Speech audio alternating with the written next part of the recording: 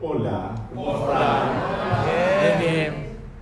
Buenas noches a todos. Buenas noches. Una vez más aquí en Asunción, Paraguay, en este momento, dando luces más sobre un tema que ha marcado a la humanidad por miles de años. Solamente en el cristianismo han sido dos mil años. Y antes del cristianismo, muchos miles de años más. Estamos hablando de la Biblia. La Biblia tiene dos partes. El Viejo Testamento y el Nuevo Testamento, o el Antiguo Testamento y el Nuevo Testamento.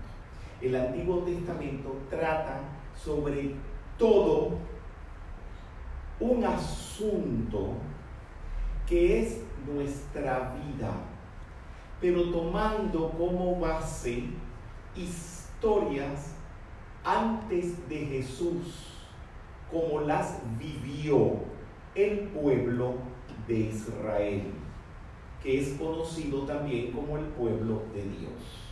Pero todo esto son símbolos que hay que descifrarlos. Cuando se habla del pueblo de Israel o el pueblo de Dios, son ustedes. O sea, no piense en un pueblo que está ya en el Medio Oriente. Piensen en ustedes, ustedes son ese pueblo. Y cada vez que en la Biblia se habla del pueblo de Israel o se habla de el pueblo escogido, está hablando de ustedes, de nosotros como grupo. ¿Van entendiendo eso? Sí. Entonces ustedes la Biblia no la pueden leer como dice la letra. Como dice San Pablo, si usted lo lee como lo dice la letra, letra muerta es. Todo eso tiene un simbolismo y cada uno de los personajes de la Biblia representan un estado psicológico de tu persona. Hoy vamos a ver a un personaje que tiene una significación muy grande. Todo lo que les voy a ir hablando, traduzcanlo a su vida, traduzcanlo a sus problemas y vean cómo a través de las narraciones que vamos haciendo, ustedes pueden encontrar la solución a sus problemas personales. De eso trata la Biblia. Es un tratado como de psicología. Esto nunca antes nadie lo había dicho. Eso lo estamos asomando en la metafísica. Aunque mi persona desde muy joven está viajando a Tierra Santa. Y he tenido oportunidad de investigar, no una vez, sino muchas veces. Perdí la cuenta cuántos viajes he hecho de investigación a Tierra Santa. Y he tenido la oportunidad de descubrir asuntos. Resulta que donde se encontraron los manuscritos del el mal mar muerto, los investigadores han descubierto que lo que está escrito en la Biblia puede ser literalmente así como allí lo dice, o puede ser interpretado simbólicamente. Cuando digo simbólicamente, ustedes ni cuenta se dan hasta dónde puede llegar eso. Por ejemplo, cuando Moisés se escapa con el pueblo de Israel de Egipto, Egipto lo que quiere decir es cuando la gente está adorando la materia. Cuando atraviesa el Mar rojo simboliza atravesar las emociones. E ir a la tierra prometida es venir al centro de la cabeza donde está la presencia yo soy. Imagínense nada más que eso, lo grandioso que es y que muchas personas ni se lo imaginan que eso puede tener un contenido tan grande. Eso solamente se lo estoy dando de ejemplo.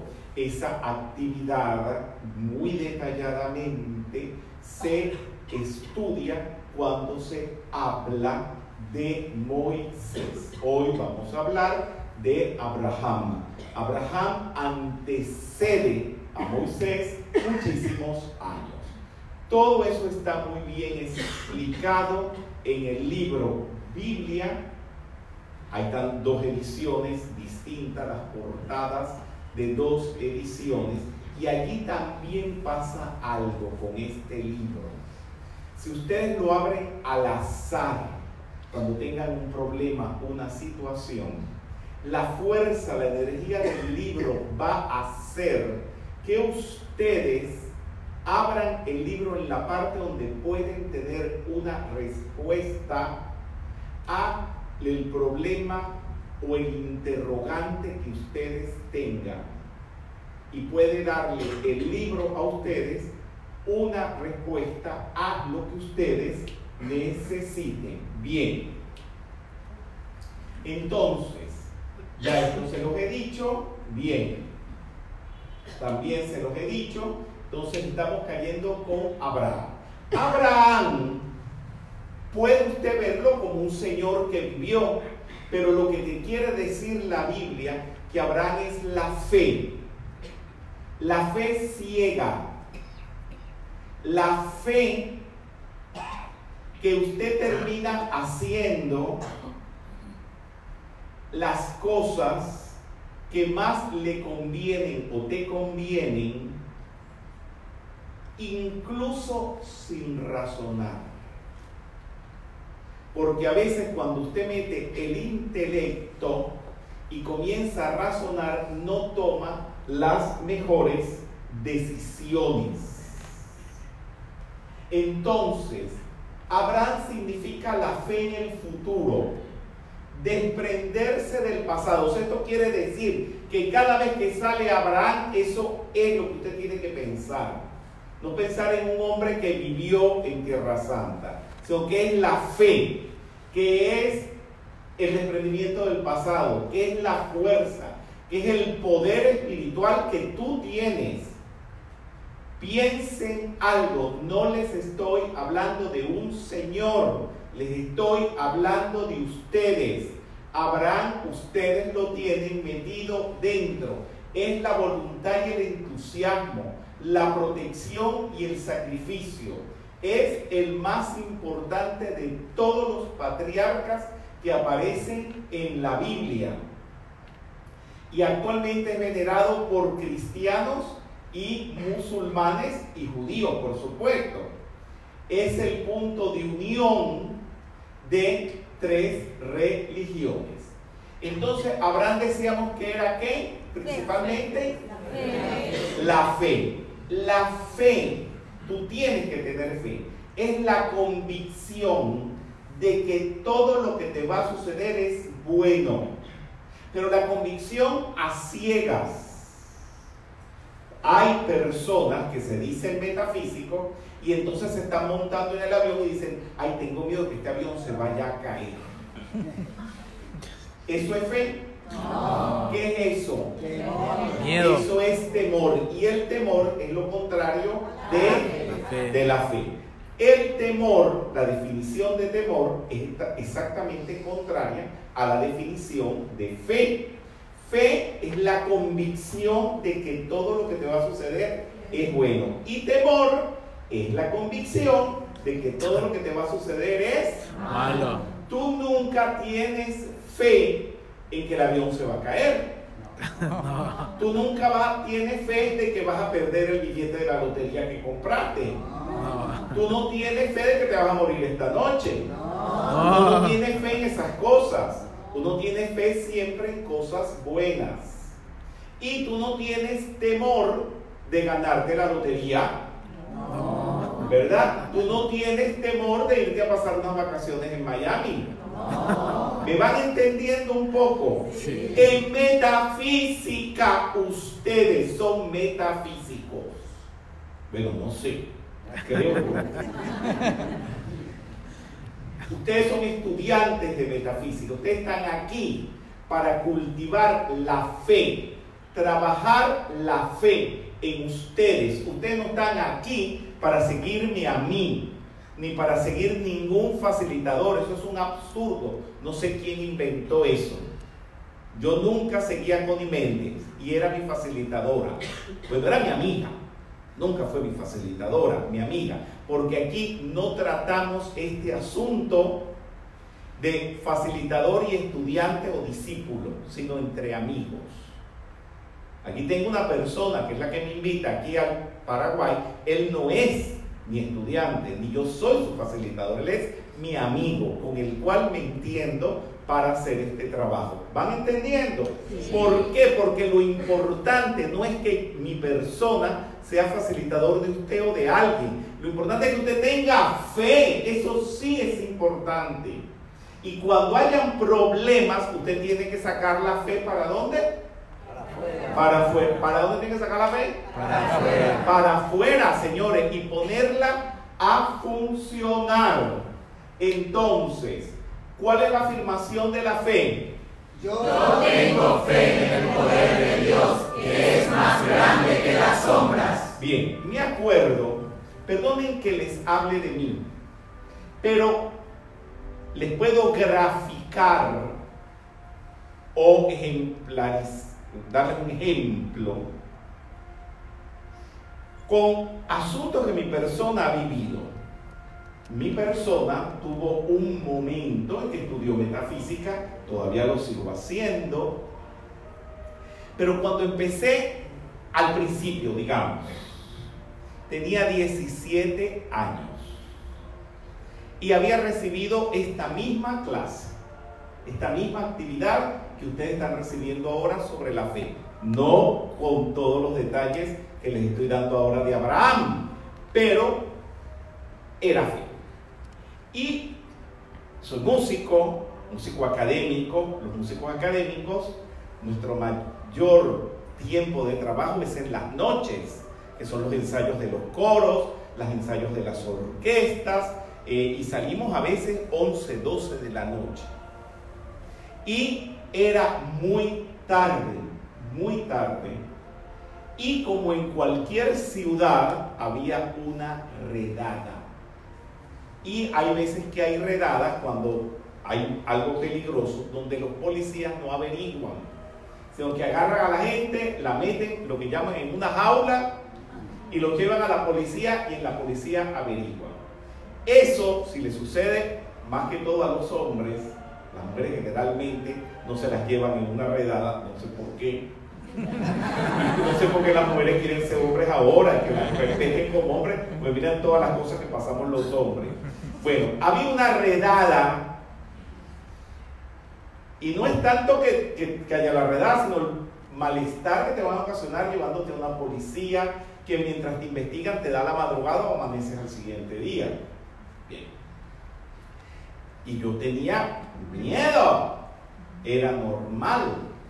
Y me puse a decir, yo tengo fe, yo no tengo temor. Yo tengo fe, yo no tengo temor. ¿Cuál es la afirmación?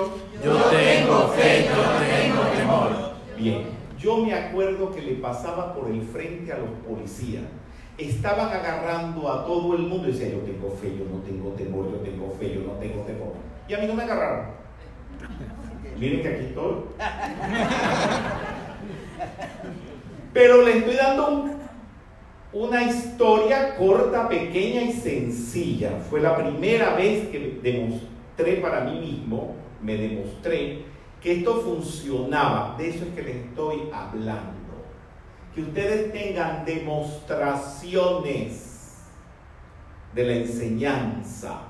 Bien, entonces, ¿cuál es la afirmación? Yo tengo fe, yo no tengo temor. Apréndanselo de memoria y úsenlo cada vez que lo necesiten. ¿Cómo van a decir? Yo tengo fe, yo no tengo temor. Bien, de, Abraham dejó a su familia. Él vivía en tierra de Ur. Eso es cerca de Mesopotamia.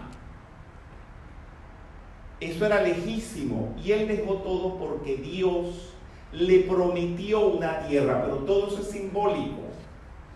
Dios te está prometiendo a ti vivir en un paraíso terrenal. Y mi persona está aquí de pie diciéndotelo porque alguien te lo tiene que decir como lo hacían los antiguos profetas. No soy profeta, ni quiero que me pongan ese nombre, pero uno está haciendo esa función, agarrar un micrófono y decirle, señores, ustedes pueden vivir en una tierra prometida donde mana leche y miel. ¿Qué significa eso? Alimento y dulzura, sabiduría y dulzura. Ustedes tienen derecho a vivir bien. Dios le prometió a Abraham eso. Y Abraham lo creyó como. Ah, están aplicando lo que les acabo de instruir. ¿Con qué lo aplicó? Con fe. ¿Con fe cómo? Con fe ciega. Él no sabía para dónde iba, él no sabía cómo era y salió de tierra de Ur, donde él vivía, a su tierra prometida. Porque ese es el plan divino que todos ustedes tienen. Vivir prósperos, vivir abundantes, sin robar, óigame. Pues por allí conozco un metafísico, quizás, bueno, hay que ser rico, hay que ser opulente. Déjame agarrarle la tarjeta de crédito a todo el mundo, que me den extensiones en su tarjeta de crédito, y entonces vivía viajando y vivía gastando todo robado. Pero eso no solamente pasó con, en ese caso. Tuve un metafísico en un país centroamericano, no lo voy a nombrar porque pueden protestar las personas de allí, que este, me dice, aquí no se pide donación amorosa. Y le digo, bueno, ¿cómo haces tú? ¿Y dónde está la provisión? ¿Y dónde están los decretos? Y me regañó. Y yo dije, ay, yo como que, como que no estoy muy adelantado porque mira este cómo habla. Bien, no se recogió nada de donación, todos aquellos salones espectaculares y bueno, toda una maravilla. Me voy y como a los meses me mandan los metafísicos un recorte de periódico donde lo habían agarrado preso, pues se estaba robando el dinero de un banco. Eso no me estoy refiriendo a eso. Me estoy refiriendo a ser próspero en blanco, no en negro, no por debajo de la mesa. ¿Me van entendiendo? Sí. Por medios lícitos. Muy bien, seguimos. Entonces, Abraham era un patriarca. Aquí empiezan las cosas a ponerse buenas. ¿Qué es un patriarca? Un padre. Generalmente se le atribuye a un padre de 12 hijos. Es un facilitador, un maestro, un sacerdote con, como dice Bergoglio, pastor con olor a ovejas. ¿Qué quiere decir pastor con olor a ovejas? Que esté en contacto con el pueblo, ayudando. Hay dos posiciones, son bien sencillas, se las pueden aprender de memoria. El para ti y el para mí. Hay personas que viven en el para mí. Dame plata, cómprame esa camisa, regálame el viaje. Se vive en el para mí. Y el otro que vive en el para ti es, quiero que tú viajes te voy a regalar el viaje. Quiero que tú tengas esa corbata y te la regalo. El patriarca vive en el para ti. Mira, tú tienes cara de patriarca. Por el tamaño, así lo puedo decir. Tú me estás entendiendo lo que es vivir en el para ti. Porque hay veces, mijo, que cuando recibimos malos ejemplos como cuando uno tiene un padre o una madre ladrona, delincuente, estafadora, asesina, te lo digo porque yo he trabajado con esas madres y esos padres. A mí me tocó toda mi vida reeducar niños, hijos de delincuentes. Ellos creen que vivir como viven sus padres es lo normal. El patito cuando nace, lo primero que ve cree que es su mamá. Cuando uno nace y uno ve lo que hacen sus padres, uno cree que eso es lo normal. Les voy a contar un cuento mío, mis padres son muy cultos y eh, yo nací pues en medio de la ópera. Y cuando me preguntaban, ¿y qué discos hay en tu casa? Digo, lo que tiene todo el mundo, la ópera toca por Renata Tebaldi y Mario de Fona. Se me queda mirando así, porque yo creía que todo el mundo tenía eso porque era lo que había en mi casa, porque no tenía referencias. Y eso nos pasa a nosotros cuando tenemos un facilitador, ladrón, estafador, creemos que la metafísica es así. Pues no es así. O un facilitador autoritario. Por aquí yo conozco a Pero lo he regañado más para que cambie. Creo que se está componiendo, ¿verdad? Se está, se está componiendo un poquito. Bien. Porque después ustedes creen que tiene que ser así. Anoche estábamos comiendo, muy bien, y estábamos con un diálogo estupendo, hablando de la no autoridad, hablando de la participación, que los grupos tienen que llevarse con participación, sin órdenes. Bien, eso es un patriarca. Entonces, la tierra prometida, ya les hablé de la tierra prometida. Entonces, ¿qué le dijo Dios a Abraham? Vamos a ver. A tu pueblo y a tus familiares y vete al lugar que te voy a mostrar. Con tus descendientes formaré una gran nación. Te prometió una gran nación. ¿Tú tienes estudiantes? Esa es tu nación. ¿Tú tienes estudiantes, mijo? Sí, sí. Esa es tu nación. ¿Tú tienes estudiantes? Esa es tu nación. Pero tienes que abandonar muchas cosas. Abandonar el padre y madre no es que dejes a tu abuelita, a tu mamá y a tu papá pasando hambre por ahí porque vas a dar clases de metafísica. No. Dejar padre y madre es dejar el pasado. Acuérdense que la Biblia está escrita en símbolos. Es dejar el pasado, los compromisos y dedicarte al trabajo de la divina presencia de Dios. Eso es lo que le dice Dios y que va a formar una gran nación es tener muchos, muchos, muchos estudiantes. Y fíjense que no digo discípulos, sino personas que estudian, que son como hijos. Muy bien. Ya eso lo estoy explicando muy bien. Entonces, ahora viene algo maravilloso. Y esto es lo que más me emociona de esta actividad de hoy. Hablarles de las bendiciones, señores. Hay almas, almas que tienen la bendición de Dios para tener descendencia espiritual, para tener estudiantes, muchos estudiantes. Y esa es una bendición y a mí no me pregunten por qué unos sí la tienen y otros no la tienen. Eso es así como por qué mis paraguayas tan bonitas y tiene las tetas y el culito paradito y a ti te hicieron, mi amor, como un estropajo. No, es verdad, eso es así. Ah, no sé.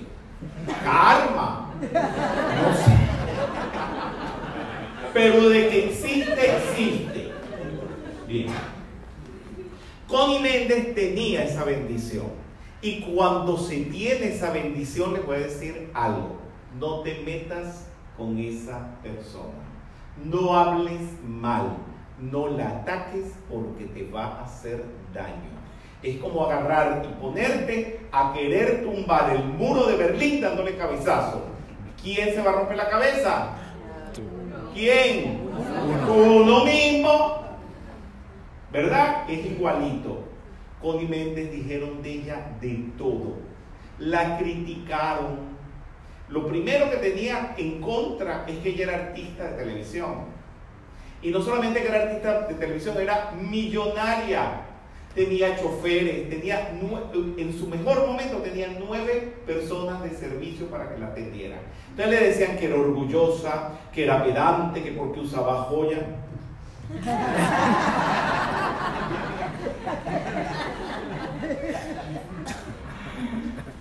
Y hablaban horrores de ella. De mí también lo dicen. ¿Quieren que se lo cuente? Sí. No se lo voy a... Ay, no. Yo sé que es divertidísimo. Porque el chisme a mí no me gusta, pero me distrae. Pero vinimos a aprender a Abraham, no aprender de Rubencito. Ya. Después ustedes pueden hacer una clase y hablar todo lo mal de mí que quieran. Bien. Entonces, existen las bendiciones, señores. Existe también el hijo de la promesa, que es el, el que le da sucesión a lo que hace un patriarca, un sacerdote. Es lo que se puede interpretar como la línea discipular. Y son seres que imparten bendiciones que están en la humanidad para bendecir, para ayudar. A lo largo de toda la Biblia está llena de bendiciones.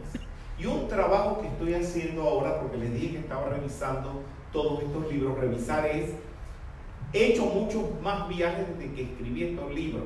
Estos libros los empecé a escribir en 1980, imagínense ustedes. ¿Hace ya cuánto? Eh, 40 años. Sí, más o menos, o 30 años, no sé cuánto. Bien. Después saco la computadora y les digo. 40 años. Bien, entonces. Tengo más vivencias. Y ahora he querido incluirle al libro las bendiciones. Porque las bendiciones existen cuando Connie Méndez existía, habían otros que querían ser como Connie Méndez. ¿Y por qué no pudieron? Porque Connie Méndez tenía la bendición. Aquí en Paraguay sucede algo curioso. Tengo una persona, o hay una persona, que gracias a esa persona, desde mi primer viaje, que fue en el año 90, se ha hecho la metafísica aquí. Esa persona no es perfecta, yo lo reconozco. Y esa persona sabe sus defectos y que yo lo sé porque yo se los digo. Pues no es que porque es mi amigo y porque es el que lleva la metafísica vamos a disimular. No, yo no estoy con esa historia. Bien. Aquí ha pasado de todo. Han querido darle golpe de Estado más de una vez. Sí yo no estoy mirando a esa persona para que no vayan a pensar quién es. No voy a decir el nombre y no voy a mirar a la persona y decir, ah, mira, Rubén lo estaba mirando. Es fulanito, no, no lo estoy mirando a nadie. Bien, entonces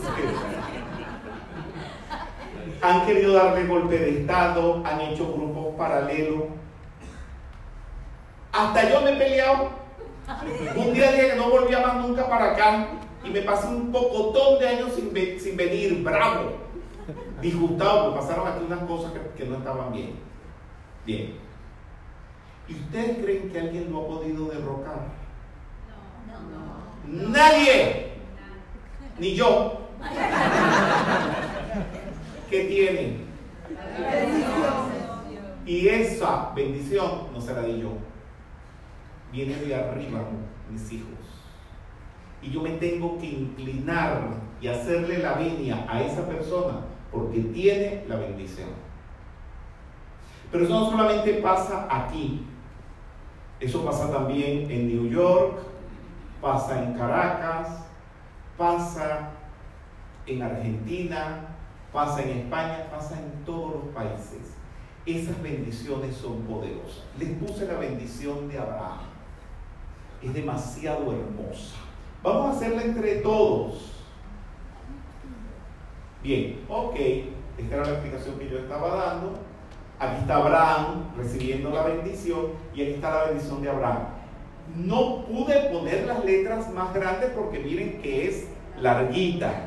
Pero ustedes creen que pueden leerla. Sí. Al menos la primera fila leen. Sí. Si no saquen los- los- las gafas, saquen, las, saquen la- las, las, las lupas. Vamos a leer eso pausadamente, reflexionándolo. Vamos a ver, comencemos ahora. Bendito seas el Padre de Dios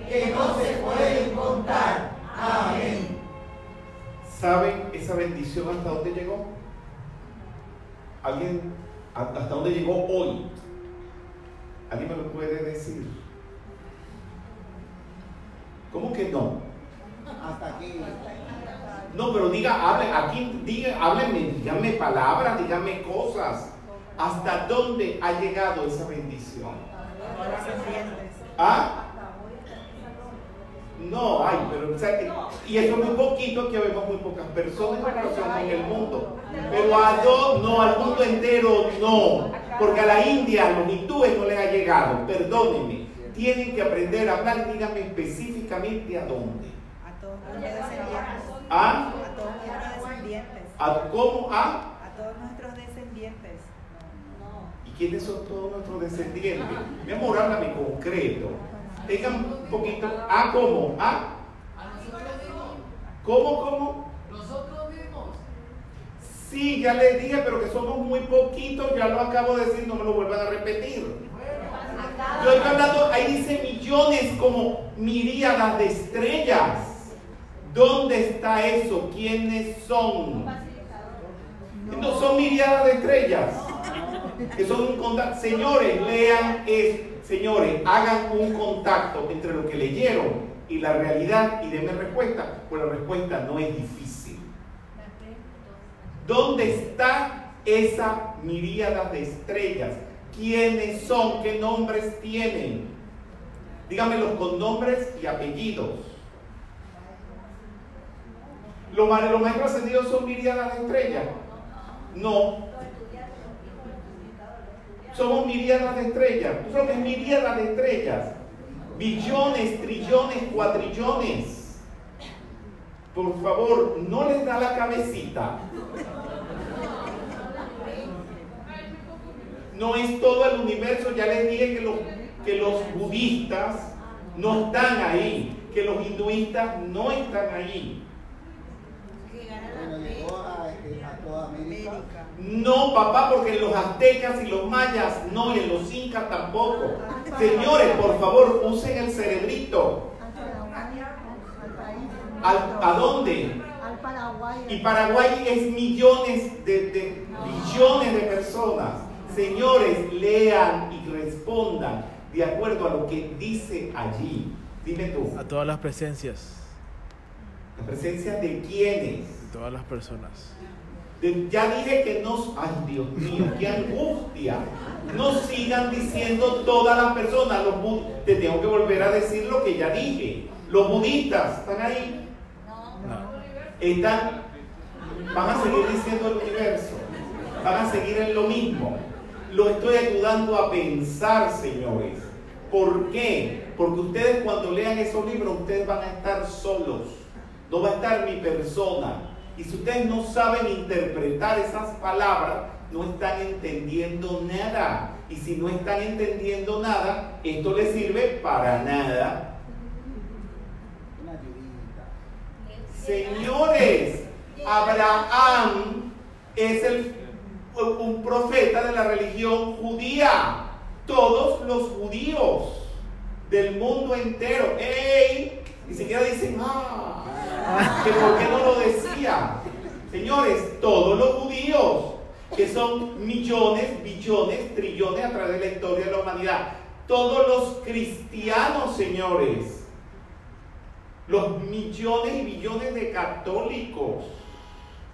Y encima también todos los árabes, porque los árabes también creen en Abraham, porque él fue el padre de todos los árabes.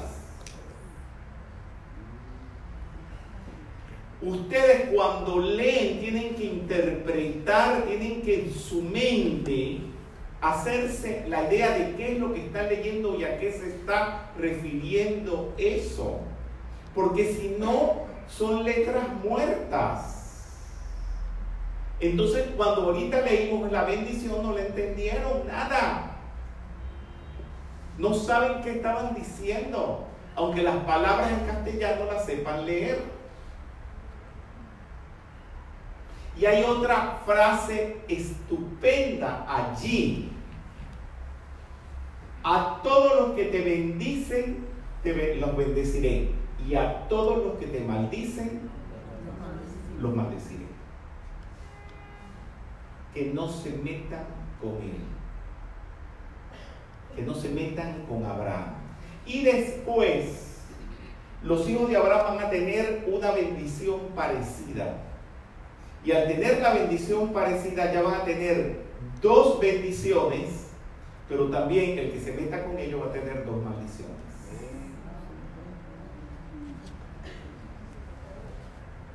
Hubo un señor por ahí, que no lo voy a nombrar, que se metió con los judíos y los empezó a matar. ¿Y qué pasó? Murió. ¿Ah? Murió. Murió no, porque uno se va a morir. Acabaron con esa persona y todos los que hacían hacer desaparecer a los judíos.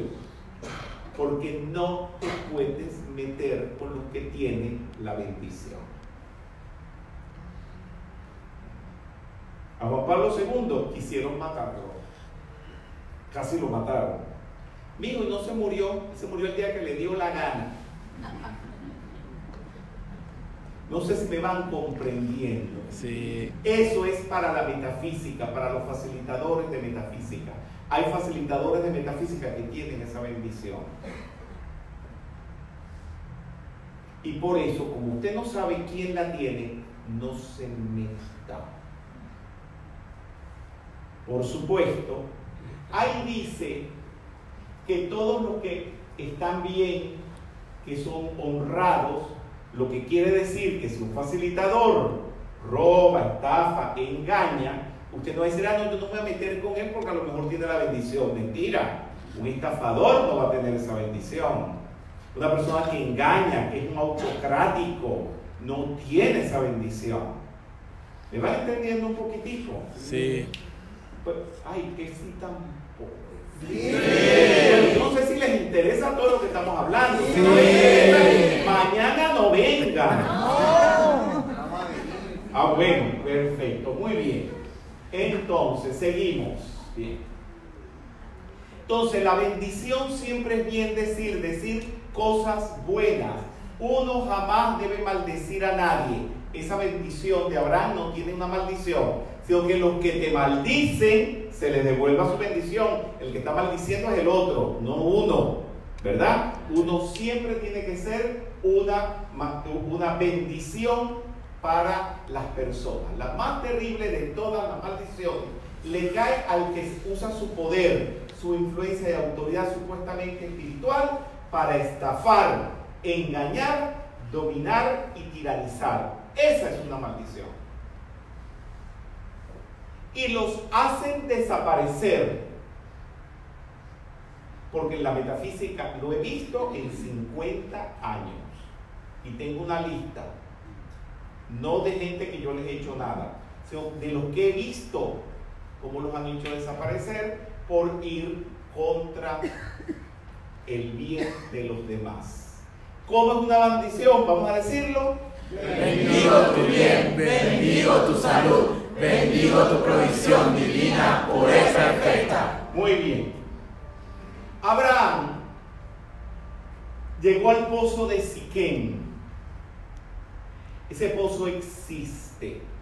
Ese pozo durante años, 40 años no he podido llegarme hasta él porque está en manos de una fracción de los que viven allá en Tierra Santa, un poco compleja, eh, un poco eh, con unos asuntos que están resolviendo ellos y no era seguro.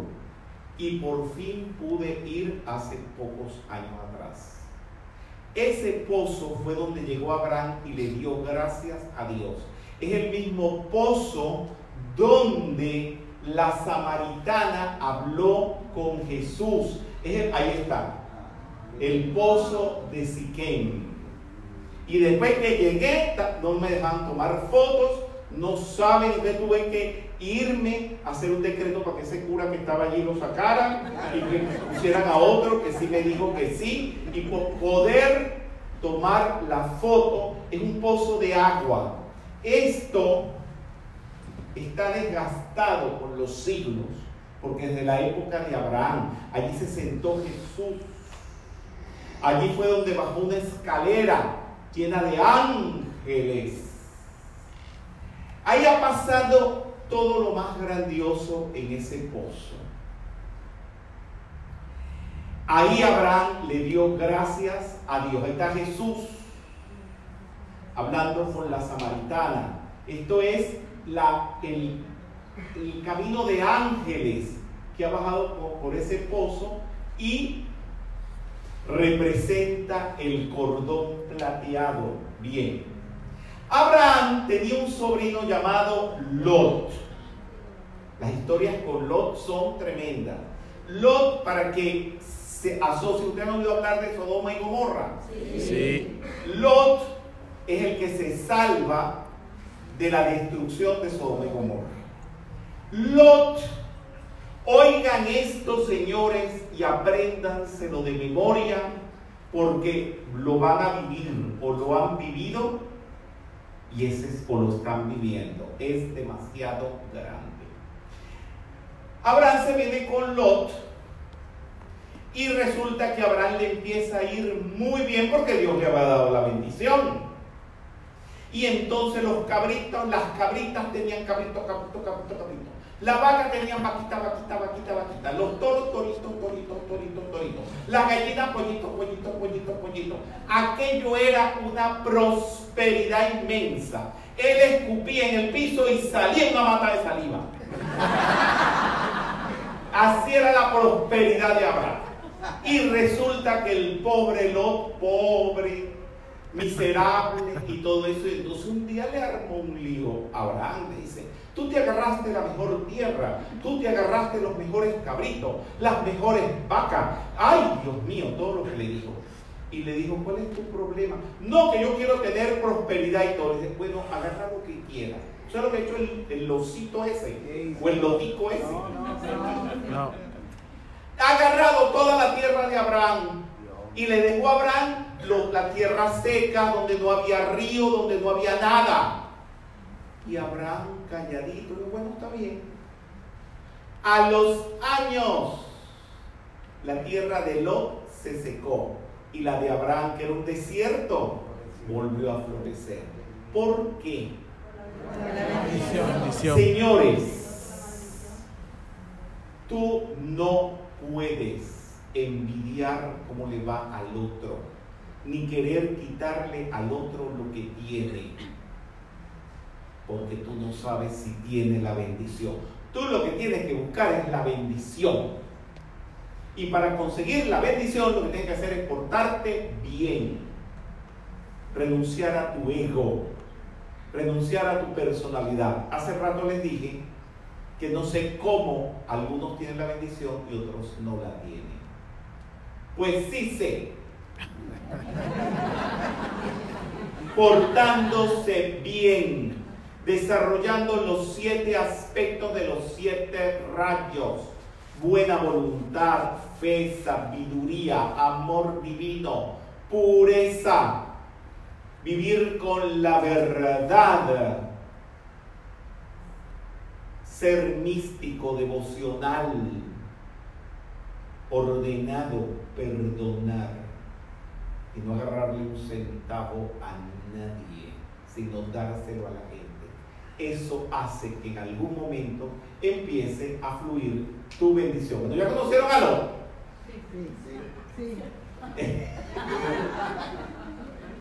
Bien, seguimos. La ley de Dios se pone de parte del que da lo mejor a los demás. Dado, no vendido. No es que te voy a dar la enseñanza y bueno, dame acá tu cuenta de banco, dame a ver cuánto tienes, te quito lo que tienes. Había un facilitador graciosísimo. Entonces él se consideraba que porque él daba la enseñanza, tenían que dárselo todo. Y entonces él, por ejemplo, iba por un centro comercial le gustaba una camisa, le decía a su mujer, me gusta esa camisa. Entonces la mujer le decía al mejor estudiante de ese facilitador, a fulanito le gusta esa camisa. Entonces ese primer facilitador se lo decía al otro facilitador o estudiante de ese.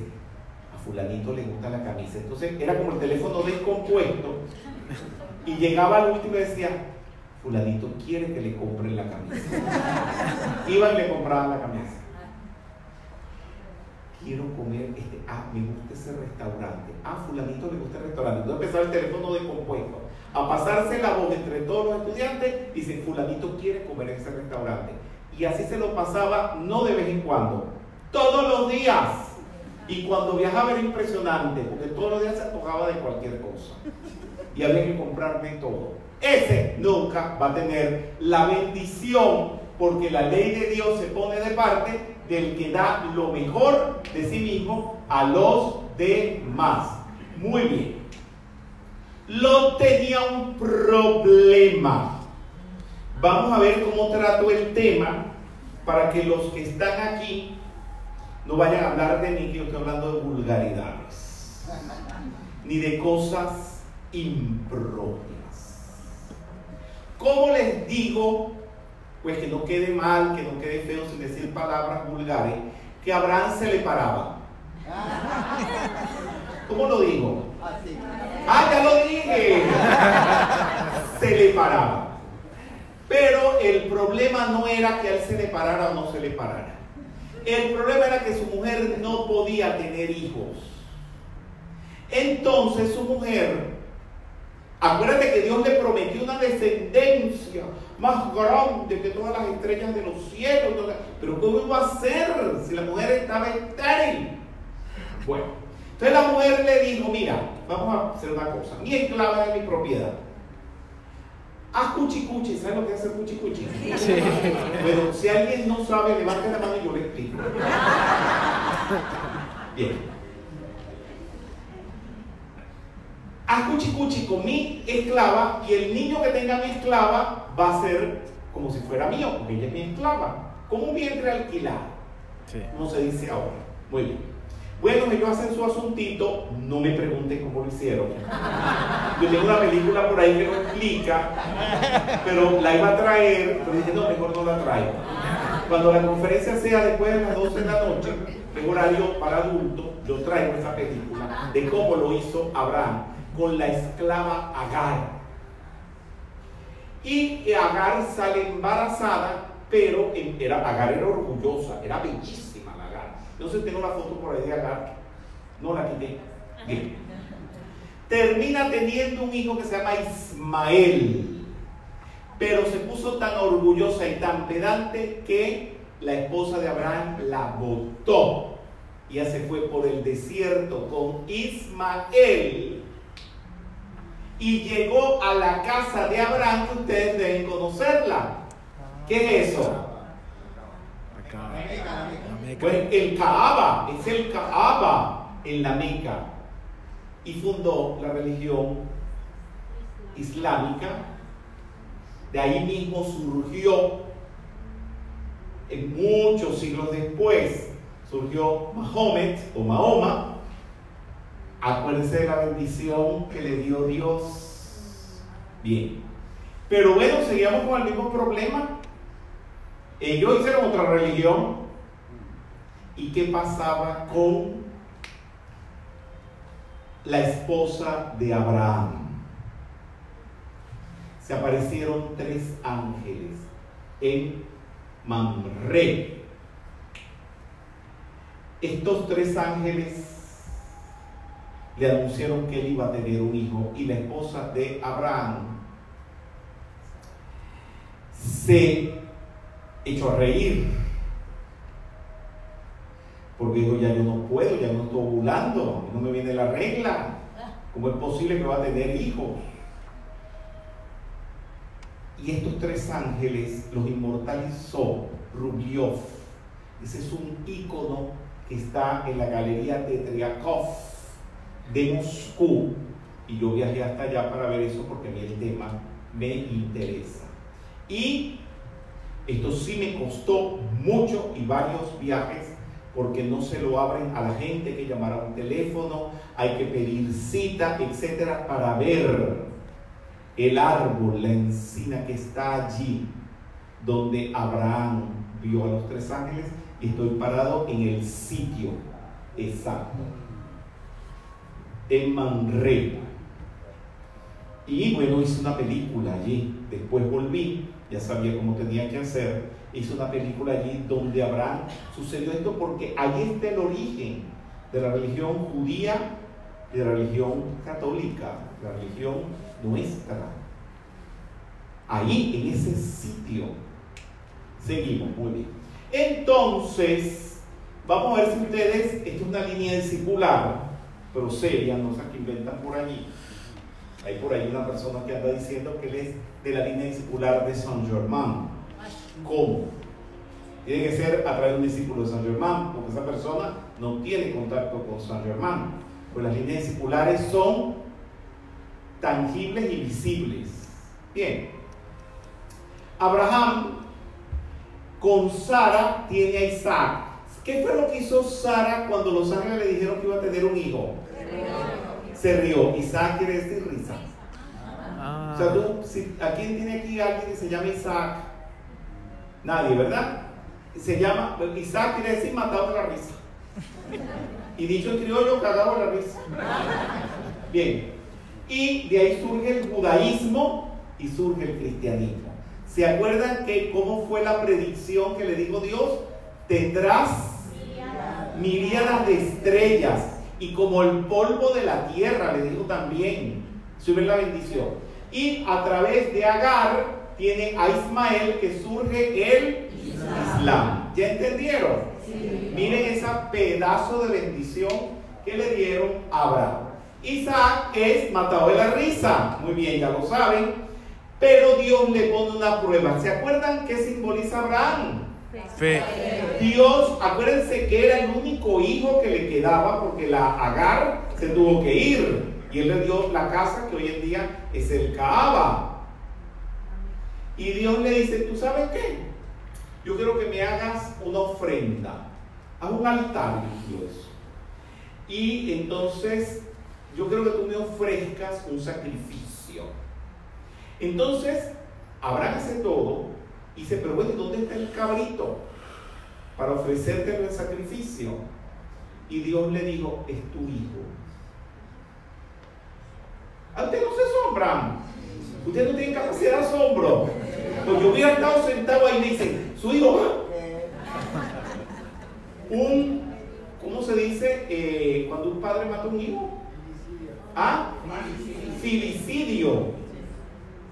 Esa palabra, eso como que no existe que padres maten a los hijos, filicidio. Pues yo sé que es patricidio. El padre, el hijo al padre es patricidio, eso sucede. Y matricidio también. Ahora, filicidio, yo nunca he visto ningún filicida por ahí. ¿Aquí hay algún filicida? No. Bien, perfecto, muy bien. Pues que hiciera un filicidio, imagínate tú el asunto. ¿Y Abraham qué significa él? Fe. La fe. Él, la fe ciega. Si Dios le dijo que lo hiciera, y era su único hijo. ¿Y dónde estaba la bendición y la descendencia? Y lo montó para sacrificarlo. Y en, el momento en que levantó el cuchillo, vino un ángel del cielo y lo detuvo. Era una prueba de fe. Y por supuesto, de Isaac. De Isaac surgen todos los judíos y todos los católicos. Ese lugar, de ese sitio donde sucedió eso, existe. Es donde está la mezquita de la roca en Jerusalén. Eh, he podido entrar allí, pero en la época en que entraba allí, ahí no dejan tomar fotos, lamentablemente. Entonces no tengo la foto de ese lugar. Y finalmente, Abraham desencarna. Aquí también no se puede tomar fotos, pero fuimos ahora y pudimos tomar fotos. Y no solamente eso, sino hacer una película. En Hebrón fue enterrado y aquí estoy en la tumba de Abraham. Dice el Espíritu Santo que los lugares donde están estos seres, vivieron estos seres tan grandiosos, o están sus tumbas, los electrones se cargan de esas energías. Y por eso es bueno ir a esos sitios, para uno respirar eso y luego expandir eso hacia los demás. ¿Se acabó? Ah, ahora sí reaccionaron. Bien, ¿tienen preguntas? Si tienen preguntas, seguimos. Si no tienen preguntas, mi participación llega hasta aquí por el día de hoy. Pero a lo mejor les ha pasado como la bendición, que no lo entendieron, entonces por eso no tienen preguntas. Pero bueno, para eso tienen los libros, para que los vuelvan a leer y tanto va el cántaro al agua hasta que se rompe, que un día van a entender toda la importancia que tiene todo esto. Juan de Dios.